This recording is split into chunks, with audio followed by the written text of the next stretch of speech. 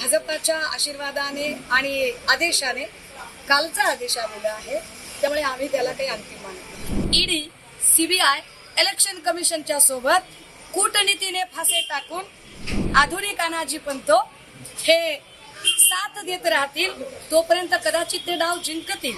आम्ही हे मनाशी ठरवून घेतलंय. आमचा पक्ष आमचं चिन्ह आमचा झेंडा आमचा अजेंडा आमचा उद्देश.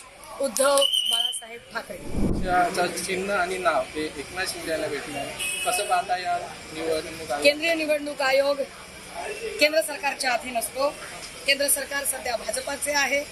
त्यामुळे if A is equal to B B is equal to C it means that A is equal to C हे क्लिअर कट आहे की भाजपाच्या आशीर्वादाने आणि आदेशाने कालचा आदेश आलेला आहे. त्यामुळे आम्ही त्याला काही अंतिम मानतो बरोबर आहे. त्याचबरोबर आता काही दिवसातच स्थानिक स्वराज्य संस्थेचं निवडणूक येईल. सध्या पक्षाचं नाव देखील नाही चिन्ह देखील नाही. तर कशा प्रकारे बघता या निवडणूक पक्षाचं चिन्ह आणि नाव कुणासाठी महत्वाचं असतंच असतं? प्रतिकांचं राजकारण प्रचंड महत्वाचं असतं. पण प्रतिकांच्या राजकारणाच्याही वर्ग मूल्याधिष्ठित राजकारण फार महत्वाचं असतं. आणि शिवसेनेने काही मूल्य मराठी मनामध्ये रुजवलेली आहेत. ज्या मूल्यांमध्ये मराठी माणसाचं हित तोंडात राम आणि हाताला काम हे मूल्य फार महत्वाचं आहे. मराठी अस्मिता मराठी बाणा शिवसेनेने कायम जपलेला आहे आणि तो प्रत्येक शिवसैनिकांच्या ठाई आहे. आणि त्या सगळ्या शिवसैनिकांची नाळ ही खोक्यांशी जोडलेली नाही ती पैसे सत्तेशी जोडलेली नाही. त्या सगळ्या शिवसैनिकांची नाळ ही मातोश्री आणि सेनाभवन उद्धव बाळासाहेब ठाकरे या नावाशी जोडलेली आहे. त्यामुळे आम्हाला नाही वाटत की याचा आम्हाला काही फरक पडतो. We are mentally prepared for all that पुढची रणनीती काय असेल? नेमकं सुप्रीम कोर्टाकडे जाणार आहे. कशा मी प्रकारे तुम्हाला आता सांगितलं तर ताई एक- एकीकडे बघितलं तर. जल्लोषाचं वातावरण होतं. एकीकडे बघितलं तर काही शिवसैनिक हे त्यांचं अश्रू देखील आपण पाहिले. कसं बघता या चित्राकडे? शिवसैनिक हे नेहमी एका उद्धव ठाकरे ठाकरे कुटुंबियाच्या मागे असतात. मात्र हे जल्लोषाचं वातावरण आणि हे दोन वातावरण या ठिकाणी पाहायला मिळतं. महाभारतामध्ये कौरव आणि पांडवांचा संघर्ष चालू होता.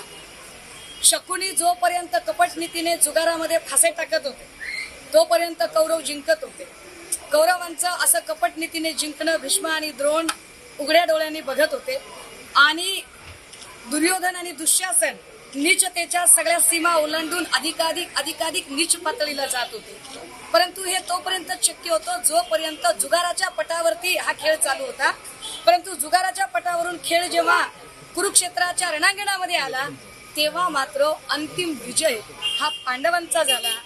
जोपर्यंत ईडी सीबीआय इलेक्शन कमिशनच्या सोबत कूटनीतीने फासे टाकून आधुनिक अनाजी पंतो हे साथ देत राहतील तोपर्यंत कदाचित ते डाव जिंकतील.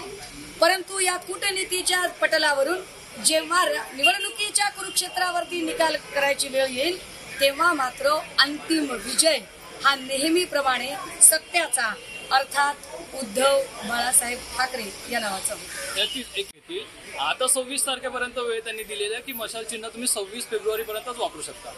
भाजपला जेवढं वाईट आमचं करायचं होतं तेवढं वाईट करून झालं. वाईटात वाईट अजून काय करू शकतात बरं?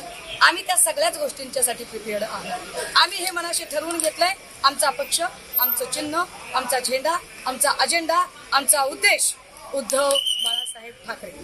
या निर्णयाची वाट बघा खरं जण. कुंपणावरतीच बसलेले काही जण. आता ते सुद्धा तिकडे जातील त्यांच्यासाठी तुमचे नक्की का दोन शब्द असतील? जाणाऱ्यांना बिचाऱ्यांना शुभेच्छा. त्यांनी खरंच लवकर जावं. म्हणजे आम्हाला कावळे कोण आणि मावळे कोण हे ओळखणं जरा कठीण जाईल आणि नवीन पालवी फुटण्यासाठी संधी सुद्धा मिळेल